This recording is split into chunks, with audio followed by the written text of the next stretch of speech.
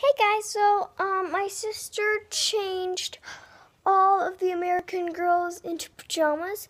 So I'm gonna tell you guys the P O T N of like that stands for pajamas of the night.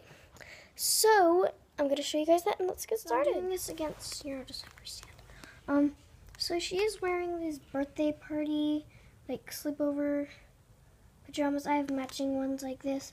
Um, and it says a big cake with sprinkles here. Uh, more layers, the better.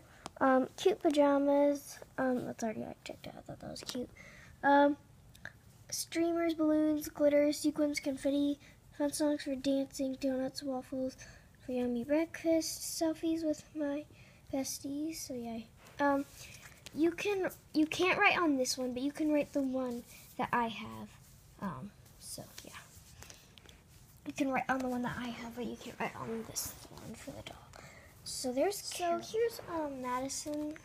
Um, I have matching ones like this. I had this in um, my subscribe video, but um, it's I'm only a morning person on Christmas, and then all these little snowflakes, and then red sleeves, and then like thin like um red string like coming around there. I don't know, yeah, there's so here is um Madison. She's the Elizabeth doll and she's Mia, so I don't think said that but um there's little penguins across and then little little little snowflakes and then like weird pattern really like on the pants and then it says stay cool but don't freeze. So yeah, that's really cute.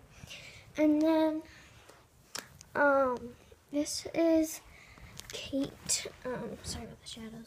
Um, these are um, Grace's pajamas. They have like Paris things on them. And then this little blue bow and then this little tank top thing. So, yeah. And then, yeah, this one's from, this is Grace's pajamas. And then like all the rest of them are from Justice. So yeah, this one's also from Justice. It says, I like you a latte with all these little um, um, Starbucks like frappuccinos under there. So, so thanks for watching this video. Make sure to give it a uh, give it a big thumbs up, and in the comments down below, um, tell me whose is your favorite. And yeah, so bye.